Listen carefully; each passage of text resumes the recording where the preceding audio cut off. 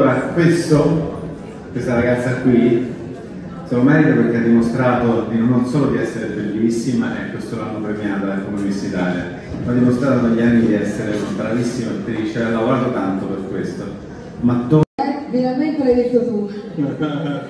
e quindi sarà in una bellissima serie se lo merita, ha lavorato tanto per questo, è stata molto paziente, ha dimostrato di essere umile, quindi brava. Grazie, sono veramente contenta di avere questo premio.